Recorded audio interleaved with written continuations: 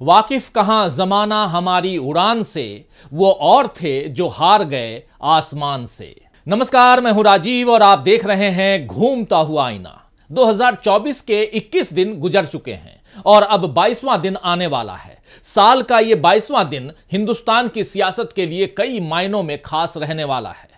अयोध्या में राम मंदिर में बीजेपी की देखरेख में प्राण प्रतिष्ठा का भव्य कार्यक्रम होगा और इसके साथ ही बाबरी मस्जिद राम मंदिर विवाद में एक नया पन्ना, एक नया अध्याय जुड़ जाएगा।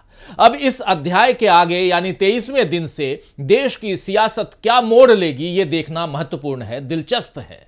राहुल गांधी तो जैसे आज अपनी न्याय यात्रा में चल रहे हैं, वैसे ही कल की तारीख में भी न्याय की आवाज़ बुलंद करते हुए नज़र आएँगे। उनका तो नारा भी है कि न्याय का हक मिलने तक। यानी राहुल गांधी किसी हाल में रुकने वाले नहीं हैं, लेकिन बीजेपी अब क्या करेगी? क्या वो अब राम मंदिर के नाम पर राजनीति बंद करेगी? क्या मोदी अब मंदिर मंदिर घूमना छोड़कर वो काम करेंगे जिसके लिए इस देश की जनता ने उन्हें चुना है? क्या मोदी अब सन्यासी का चोगा उतारकर मंदिरों के गर्भगृहों से उठकर प्रधानमंत्री कार्यालय में बैठेंगे और देखेंगे कि देश किस हाल में आ गया है? आप जानते ही हैं कि नब्बे के दशक से बीजेपी ने राम मंदिर के नाम पर देश में सियासी तमाशा खड़ा किया है, बल्कि यह कहना सही होगा कि बीजेपी ने मंदिर के नाम पर सियासत और सत्ता का ही तमाशा बना दिया। कल उस तमाशे का देशव्यापी प्रदर्शन बीजेपी करेगी, क्योंकि उसे लगता है कि इससे सत्ता एक बार फिर उसे हासिल हो जाएगी। हालाँकि पिछले दस सालों में हुए दो लोकसभा चुनावों को देखें तो तस्वीर कुछ और ही दिखती है। 2014 में बीजेपी को बहुमत मिला, क्योंकि उससे पहले दस साल से शासन कर रही कांग्रेस के खिलाफ अन्ना आंदोलन ने माहौल बना दिया था। इसके बाद 2019 में बीजेपी को जो जीत मिली, उसके पीछे पुलवामा कांड की बड़ी भूमिका रही, क्योंकि मोदी ने राष्ट्रवाद की भावना को बीजेपी की ओर मोड़ने में सफलता हासिल कर ली। तब बीजेपी का मुकाबला करने के लिए विपक्ष एकजुट नहीं हो पाया था, मगर 2024 में सियासत काफ़ी बदल चुकी है। अब बीजेपी के सामने इंडिया गठबंधन मजबूती के साथ खड़ा है, जो बीजेपी की सारी कोशिशों के बावजूद एकजुट बना हुआ है। इंडिया की मजबूती और राहुल गांधी के पक्के इरादों का असर बीजेपी और मोदी पर साफ़ दिख रहा है। राहुल के असर का सबसे बड़ा उदाहरण इस शुक्रवार को ही देखने को मिला, जब पीएम आवास योजना के कार्यक्रम में मोदी ने अपने आँसू बहाए। रोने धोने के इस राजनीतिक प्रहसन से मोदी एक बार फिर सहानुभूति हासिल करने की कोशिशों में दिखे। यानी मंदिर बन जाने के बाद भी जीत मिलेगी या नहीं, इस बात का डर अब बीजेपी को लगने लगा है। इस डर का एक और उदाहरण असम से भी सामने आया है दोस्तों, जहाँ न्याय यात्रा को रोकने की कोशिश में एफआईआर तक दर्ज कर ली गई। हालाँकि कांग्रेस का कहना है कि न्याय यात्रा नहीं रुकेगी। खैर, बीजेपी मंदिर को अपनी सियासी ढाल बनाने की कोशिश कर ले, पूरी कोशिश कर रही है, मगर लोकतंत्र के हाथों में जो न्याय की तलवार है, क्या उससे बीजेपी अपनी रक्षा कर पाएगी? यही आज का सबसे बड़ा सवाल है। तो आइए दोस्तों, आज आईने की नज़र से पड़ताल करेंगे कि लोकतंत्र को धर्म के चौराहे पर लाकर खड़ा करने वाली बीजेपी क्या खुद अपने लिए सत्ता का रास्ता बना पाएगी? या राहुल की न्याय यात्रा से इंडिया के लिए बनेगी सत्ता की राह? और यह भी समझने की कोशिश करेंगे कि 23 तारीख से देश का सियासी माहौल कैसा होगा? क्या भूखा रहकर भजन कर पाएगा भारत? या रोटी, कपड़े और मकान के साथ न्याय के लिए उठ खड़ा होगा भारत? आगे बढ़ें, लेकिन उससे पहले आइए देखते हैं राहुल गांधी का ये ट्वीट। इस ट्वीट में राहुल गांधी ने लिखा है, जब देश का हर तीसरा युवा बेरोजगारी का शिकार है, तब प्रधानमंत्री ने एक बार फिर उनके साथ बड़ा धोखा किया है। इस बार धोखा आम परिवार से आने वाले 18-18 घंटे मेहनत करने वाले उन छात्रों के साथ है, जो छोटे छोटे किराए के कमरों में रहकर बड़े सपने देखते हैं, जहाँ रेलवे में लाखों पद खाली हैं वहाँ पाँच वर्षों के इंतज़ार के बाद मात्र पाँच पदों की भर्ती प्रतियोगी छात्रों के साथ अन्याय है।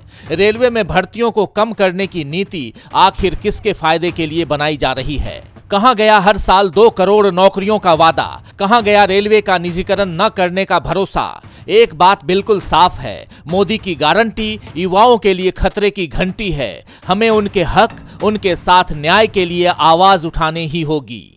हैशटैग न्याय फॉर युवा युवा बेरोजगारी मोदी की गारंटी खतरे की घंटी धोखा और न्याय के लिए आवाज़ इन शब्दों पर गौर फरमाएँ तो पता चलता है कि राहुल अब केवल विपक्षी नेता के तौर पर किसी कमी या गड़बड़ी की शिकायत नहीं कर रहे हैं, बल्कि देश के युवाओं को अपने हक के लिए उठ खड़े होने का हौसला भी दे रहे हैं।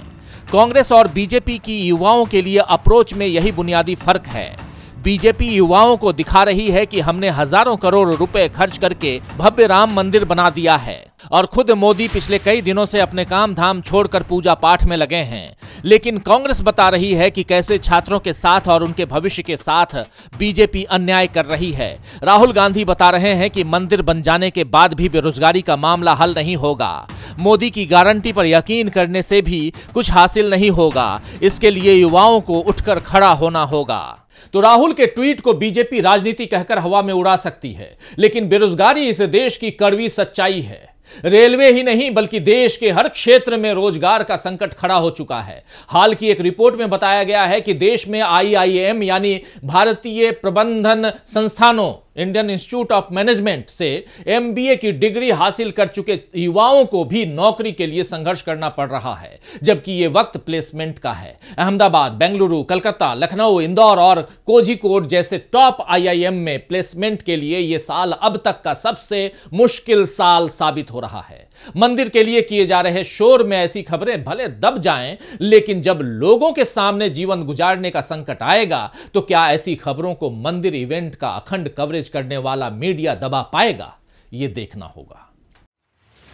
इस समय जनता को इसी भ्रम में रखने का चौतरफा खेल चल रहा है कि 1947 से 2024 के बीच भारत की सबसे बड़ी उपलब्धि अयोध्या में राम मंदिर का बनना ही है। आज़ादी के बाद देश ने उद्योग, व्यापार, शिक्षा, स्वास्थ्य, कृषि, रक्षा, अंतरिक्ष, इन तमाम क्षेत्रों में जितने भी मुकाम हासिल किए, उन सब के सामने राम मंदिर को सबसे बड़ा बनाकर बताया जा रहा है। बीजेपी रामलला की उंगली पकड़कर ले जाते हुए मोदी के पोस्टर लगा रही है। राम से अधिक ऊँचा मोदी का कटआउट लगा रही है। तो ये सब उसकी राजनीति के तहत हो रहा है, क्योंकि वो अपनी सत्ता के लिए राम मंदिर को राजनीतिक औज़ार की तरह इस्तेमाल कर रही है। राहुल गांधी ने तो कहा भी है कि 22 जनवरी राजनीतिक समारोह बन गया है। उन्होंने कहा कि मेरे लिए धर्म बहुत व्यक्तिगत विषय है। धर्म का इस्तेमाल निजी जीवन के आचरण में होना चाहिए। मगर बीजेपी और आरएसएस ने उसे भी एक चुनावी, एक राजनीतिक फ्लेवर दे दिया। तो राहुल गांधी के जैसी सोच ही इंडिया के बाकी दल भी रखते हैं। इसीलिए चाहे शरद पवार हो या उद्धव ठाकरे या ममता बनर्जी या सीताराम येचुरी, सभी ने राम मंदिर के उद्घाटन वाले दिन अयोध्या जाने में अपनी असमर्थता दिखाई है। क्योंकि इंडिया गठबंधन का भी यही मानना है कि आधे अधूरे मंदिर में धार्मिक नियम के विरुद्ध जाकर प्राण प्रतिष्ठा करने का आयोजन बीजेपी केवल राजनीतिक फ़ायदे के लिए कर रही है। तो इंडिया ने अपनी तरफ़ से जनता को सच्चाई दिखा दी है, लेकिन सच बताने की ज़िम्मेदारी जिस मीडिया पर है, वो मंदिर वही बनाया हुआ, लिखी हुई बस को लेकर। अपने बसों पर मंदिर वही बनाया है, या अखंड कवरेज जैसे बस को लेकर अयोध्या का कवरेज करने पहुँच रहा है ये मीडिया। मीडिया की राजनीति क्या है दोस्तों? अब इस पर भी देश को सोचना चाहिए, इस पर चर्चा होनी चाहिए। दरअसल देश में इस समय धर्म और न्याय के बीच द्वंद्व युद्ध चल रहा है। वैसे तो न्याय और धर्म एक ही सिक्के के दो पहलू हैं। जहाँ धर्म नहीं है, वहाँ अन्याय है। और इसी अन्याय के खिलाफ न्याय का झंडा उठाकर राहुल गांधी भारत जोड़ो न्याय यात्रा पर निकल गए हैं। अभी तो यात्रा को दस दिन भी नहीं हुए हैं और उसका असर देशव्यापी तौर पर देखने को मिल भी रहा है। यात्रा अभी पूर्वोत्तर में ही है, लेकिन उसकी धूम पूरे देश में दिखाई दे रही है। मणिपुर, नागालैंड, असम, अरुणाचल और फिर से असम। इन प्रदेशों में राहुल का साथ देने के लिए हज़ारों की संख्या में लोग उमड़ रहे हैं। हर दिन राहुल गांधी से लोग मिल रहे हैं, उनकी समस्याओं को राहुल गांधी सुन रहे हैं। राहुल के साथ फिर से जनसैलाब उमड़ता हुआ देखकर बीजेपी डर गई है। इसीलिए बीजेपी के नेता फिर से राहुल के खिलाफ बयानबाजी में लग गए हैं। पहले तो मणिपुर में यात्रा की शुरुआत में अड़चन डालने की कोशिश की गई। वहाँ बीजेपी नाकामयाब रही। फिर असम में सीएम हिमंता बिश्व शर्मा ने राहुल गांधी की यात्रा में अड़ंगे डालने की कोशिश की, लेकिन यहाँ भी उन्हें नाकामी मिली। नौबत यहाँ तक आ गई कि इस यात्रा पर हमले की कोशिश भी हुई। यह आश्चर्य की बात है दोस्तों कि एक तरफ़ बीजेपी के नेता राहुल गांधी की यात्रा का मज़ाक बनाते हैं, यात्रा को टाइम पास बताते हैं और दूसरी तरफ़ उसे रोकने की कोशिश भी करते हैं। राहुल गांधी की पहली यात्रा में भी ऐसा ही हुआ था, आप याद कीजिए। तब बीजेपी ने यहाँ तक दावा कर दिया था कि भारत जोड़ो यात्रा पूरी ही नहीं होगी, मगर बीजेपी गलत साबित हुई। राहुल गांधी ने तब चार हज़ार किलोमीटर की पैदल यात्रा पूरी करने का रिकॉर्ड बना दिया और अब छह हज़ार सात सौ किलोमीटर से भी ज़्यादा के सफ़र पर राहुल गांधी निकले हैं, जिसका असर चुनाव पर पड़ना तय है।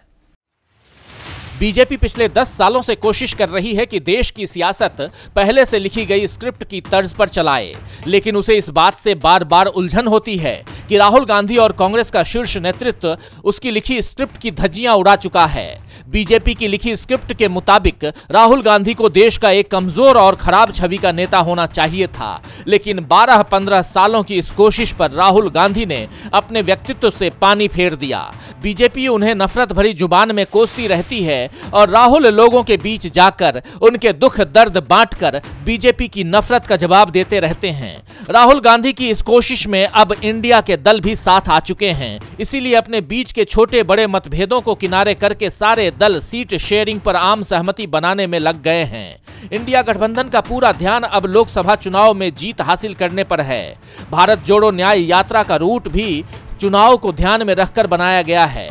यात्रा को मणिपुर से शुरू करके राहुल गांधी ने पहले ही बीजेपी पर आधी जीत दर्ज कर ली है, क्योंकि मोदी आठ महीनों में एक दिन के लिए भी मणिपुर जाने की हिम्मत नहीं जुटा पाए हैं। वहीं राहुल गांधी खुलकर मणिपुर के लोगों के बीच रहे और उनसे बातें की।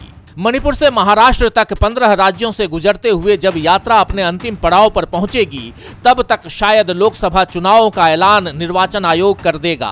इससे पहले राहुल गांधी गुजरात और उत्तर प्रदेश में कई जिलों को कवर कर चुके होंगे। बीजेपी के लिए ये दोनों मज़बूत गढ़ माने जाते हैं। इन दोनों ही राज्यों में कांग्रेस बेहद कमज़ोर स्थिति में भी है, लेकिन इस वक्त का विश्लेषण यही बतलाता है कि अगले दो तीन महीनों में माहौल काफ़ी बदल सकता है। राहुल ने जब पहली यात्रा की थी उसका असर गुजरात चुनाव पर नहीं पड़ा था, क्योंकि न वहाँ यात्रा की गई और न खुद राहुल गांधी ने वहाँ खास ध्यान दिया था। मगर कर्नाटक, हिमाचल प्रदेश और तेलंगाना में कांग्रेस की सफलता के पीछे भारत जोड़ो यात्रा का हाथ बताया जा रहा है। तो इस बार उत्तर प्रदेश, गुजरात, छत्तीसगढ़, मध्य प्रदेश, राजस्थान, बिहार जैसे राज्यों में फिर से कांग्रेस मज़बूत स्थिति में आ सकती है। तो बीजेपी ने शुरू से आप जानते हैं कि धर्म के नाम पर राजनीति की और अब मोदी जी के 10 साल सत्ता में रहने के बाद उसके पास उपलब्धि के नाम पर राम मंदिर ही बनाते हुए दिखाई दे रहे हैं। वही है, राम मंदिर ही बताती है बीजेपी। दस सालों के शासन में देश में बेरोजगारी और महँगाई बढ़ी, शिक्षा का स्तर गिर गया। इलाज की सुविधाएँ नहीं बढ़ी, खेती किसानी नुकसान में पड़ी रही और कारोबार ठप हो गए। यानी नाकामियों की एक बड़ी लिस्ट है। नाकाम होना कोई गलत बात नहीं है। लेकिन जब उन नाकामियों को सुधारने की जगह पूजा पाठ में लोगों का ध्यान भटकाया जाए तो वह हर लिहाज से गलत है। मोदी यही गलती लगातार कर रहे हैं। राहुल गांधी इसी गलती की ओर उनका ध्यान दिला रहे हैं। अब देखना होगा कि जनता धर्म के धुएँ में अपने भविष्य को गुम होते हुए देखती है या मोदी और बीजेपी को इस गलती पर सत्ता से दूर रखने का सबक सिखाती है।